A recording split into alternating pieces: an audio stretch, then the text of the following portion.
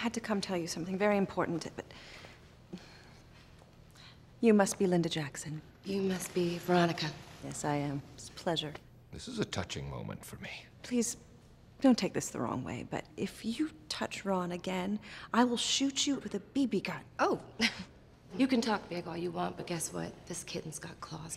Don't mess with me, Linda, because this white thunder rolls deep and it rolls nasty. I was feeling a little bit down, but this is definitely picking up my mood. well, I guess I'll leave you two alone, and it's uh, been an absolute pleasure, Miss Corningstone. This has been great. Do you guys want to kiss real quick? Ron, read the room.